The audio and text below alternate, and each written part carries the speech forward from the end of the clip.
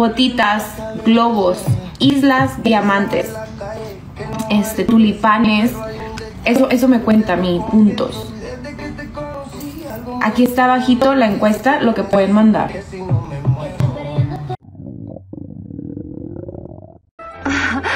¿Qué son todos estos avisos? Concéntrate, tan solo un segundo. Ya te cortaron la luz. Ya te cortaron el gas. ¿Quién se encarga de pagar? No me gustaba que me, dieran dinero mis fans, ¿no? O sea, ni que fuéramos vividores, no soy vividora, no quiero vivir tras ustedes, no necesito que me mantengan. Y dejen de mantener gente pendeja que hay un montón de bola de huevones que ya no quieren trabajar, nomás puro pinche TikTok. Nomás quieren conectarse a aquel TikTok y pedir regalos. Señor Feldman, como abogado, ¿puedo pedir su consejo sobre qué hacer mientras tanto en cuanto, ya sabe, dinero? Pues trabaje.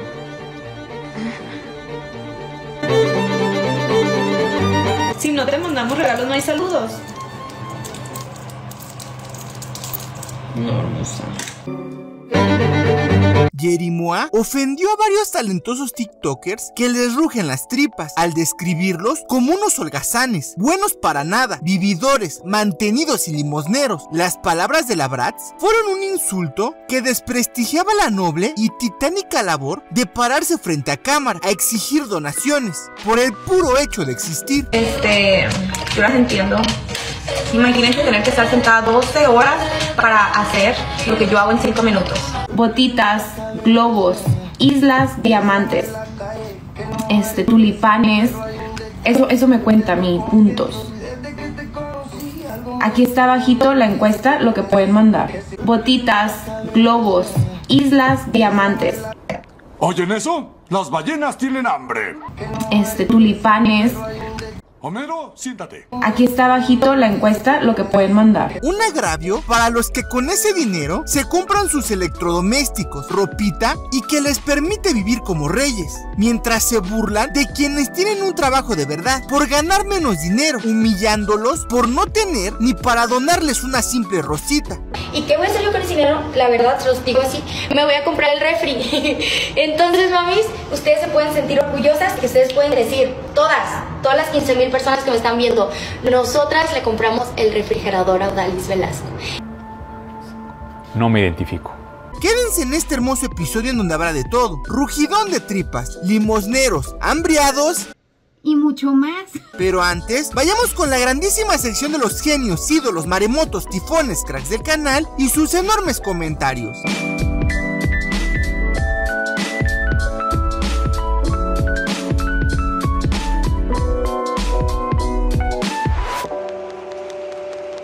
Es más, ni has de saber qué es eso. Sin más ni más, arrancamos con un nuevo episodio aquí en Chismecito Rico. Varios TikTokers son unos expertos en pedir caridad, manutención, limosneo a sus fans. Las redes les han dado la falsa creencia de que por pararse frente a cámara pueden exigir que les regalen una monedita, que los mantengan mejor que sus mismos padres. Jerimoa arremetió en contra de todos estos al considerarlos unos aprovechados, parásitos huevones, que su única destreza en la vida es pedir donaciones. La Bratz los ponía como ejemplo porque no quería que sus fans le mandaran regalitos. Pero a mí no me gustaba que me, me dieran dinero mis fans, ¿no? O sea, ni que fuéramos vividores, no soy vividora, no quiero vivir tras ustedes, no necesito que me mantengan. Y dejen de mantener gente pendeja que hay un montón de bola de huevones que ya no quieren trabajar, nomás puro pinche TikTok. Nomás quieren conectarse a aquel TikTok y pedir regalos. Como así como, o sea, ¿han visto los que te abren la puerta del Oxxo? Esos son como los que te abren la puerta del Oxxo. No, todavía los que te abren la puerta del Oxxo hacen más esfuerzo, cabrón. Pero los, los que nomás se ponen aquí a hacer en vivo el TikTok y hasta mal los tratan y, les exigen que les manden regalos. Uy, qué feo se ve eso. Perdón, mi amor, pero se ve bien feo eso. Dejen de mantener cabrones, por favor, por el amor de Dios. Porque así Demanda por difamación. En eso estamos, hermosa. en eso estamos. ¿Sí que creen? ¿Que voy a dejar que me estén bulleando todo el tiempo y que me voy a dejar? Este mono es saludable y normal en todo aspecto, pero miren. Dejen de mantener cabrones, por favor, por el amor de Dios.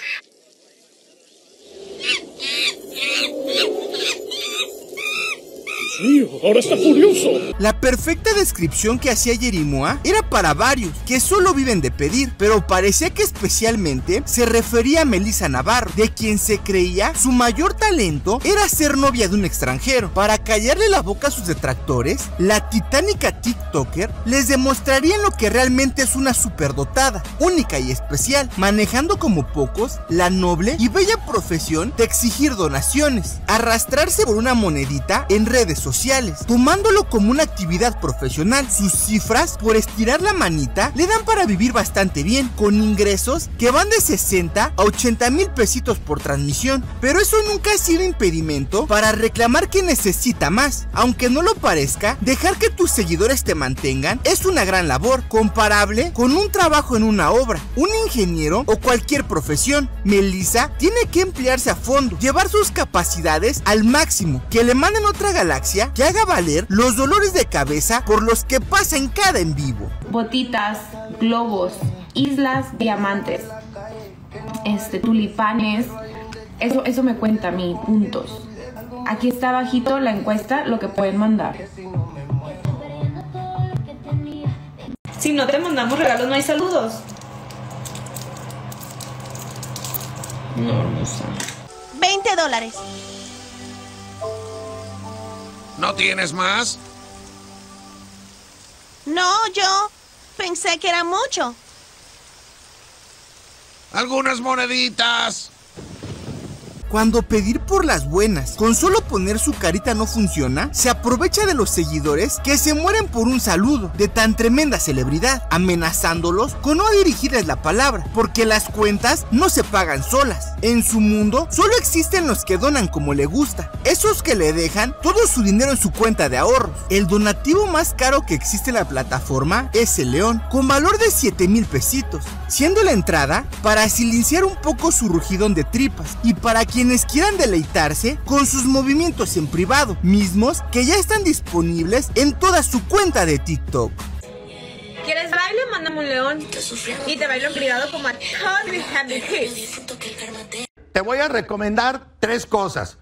Una, que dejes de inhalar tiner. Está en otro nivel de fama, ser una mega influencer tiktokera por excelencia, a Melissa se le hace poca cosa recibir lo más barato como las rosas de un centavo. El contenido que da es de muchísima calidad y es necesario un poco más. Para que el público no se confunda, mandándole baratijas, se dio la tarea de hacer una lista de lo que considera digno, fijándolo en su perfil para ayudar a los despistados, que no entienden la dinámica de mendigar. Al ver que sus fans no entendían y que solo agradece y acepta ciertos premios, les reiteraba los regalos indeseables, feos y baratos, intentando educarlos con el propósito de recibir solo lo que sume más a su cuenta de ahorros. Te voy a decir cuáles no me gustan para que no me los manden marcas.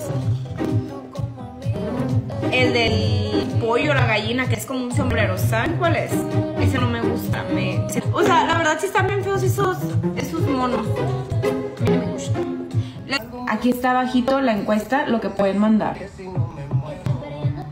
¿Qué, qué tiene de malo el incesto? Sus actitudes de una diva que se merece todo lo que pide no solo fueron criticados por Jerimoa, sino por otros usuarios que veían lo encajosa que era en cada transmisión. Al escuchar sus críticas por mantenida, Melissa se defendía, ubicándonos en la realidad de que mientras ellos son productivos 12 horas al día, a ella, sin hacer nada, en 5 minutos de estar de pedinche y rogona, genera el mismo ingreso con solo estirar la mano al saber que estaba siendo fuertemente criticada, con un humor muy particular, desde la cima del éxito, le contestaba a los trabajadores de 12 horas, mientras continuaba exigiéndoles una monedita a sus fans. No tengo money.